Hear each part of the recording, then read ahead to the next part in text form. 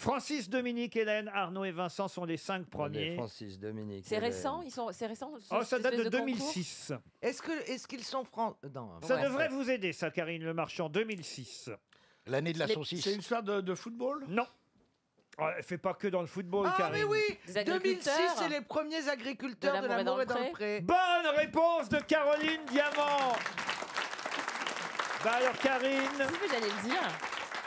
Eh oui, c'est pas vous qui animiez cette année-là, hein, Non. L'amour est dans le pré, mais euh, la première fois, C'était, euh, Francis, Dominique, Hélène, Arnaud et euh, Vincent. Mais si je vous en parle, c'est parce qu'Alessandra Sublet a raconté dans Télé 7 jours que sur les tournages de L'amour est dans le pré, et j'aimerais demander à Karine Le Marchand si c'est vrai, Alessandra Sublet était cuite, dit-elle, bourrée, une fois sur deux.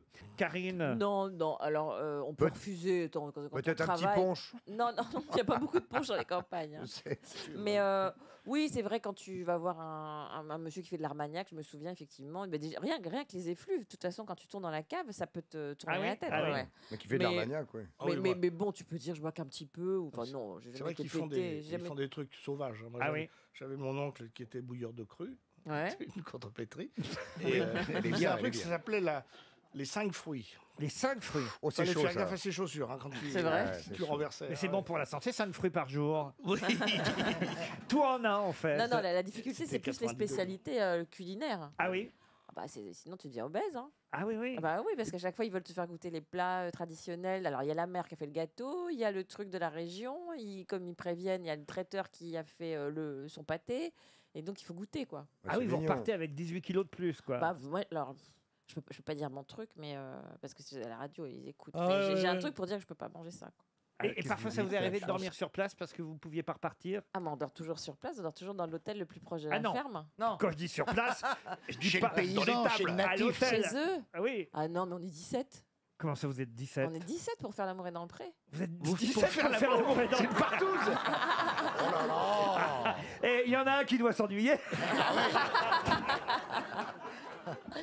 On est 17 17 On n'a pas besoin d'être d'être un nombre pair dans une partouze. Non, je sais bien. Il y a- La- La spécialiste. Non, j'en- ai jamais fait, mais j'imagine.